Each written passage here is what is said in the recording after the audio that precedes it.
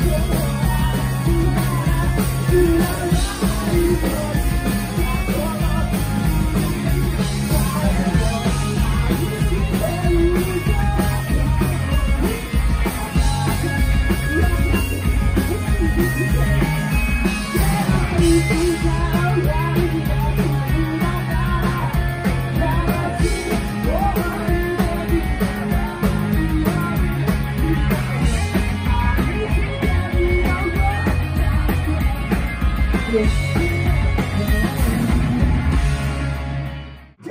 局は変わらないんじゃないかどうにもならない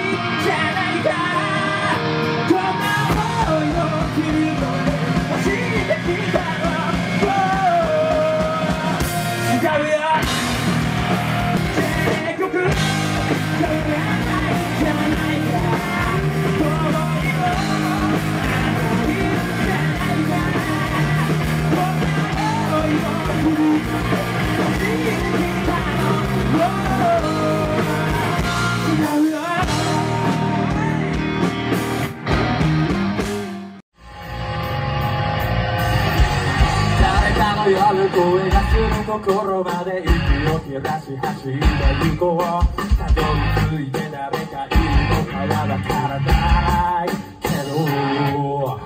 Running